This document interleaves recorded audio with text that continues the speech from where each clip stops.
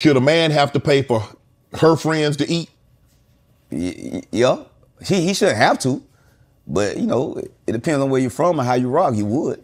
So if you go out and say you take this young lady out, and she say, "Can I bring a couple of my girlfriends?" You're like, "Okay, cool." Yeah, And she bring like ten of her girlfriends, yeah, and you know they eating. yeah. You got it. You got that covered.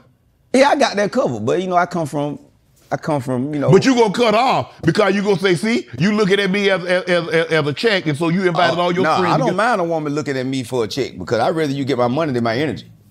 I, I tell people I, Ah. would rather have a woman want me for my money than want me for me.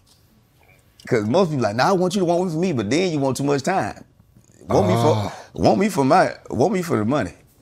Cause that that's like a circuit, a, a, a, a fuse. Remember before the, before a circuit go out in the car, Yeah. the, the fuse go out Yeah. over one of their Yeah, car. yeah. So the money, the fuse. I could get more of that, but I can't get more time. I have a problem with somebody come in my life and be like, let me get all your time, man. That's expensive. Yeah, you can't pay for that. I can't pay for that. But if you coming to me for money, okay, well, that's your, that's how you coming, and that's what you gonna get.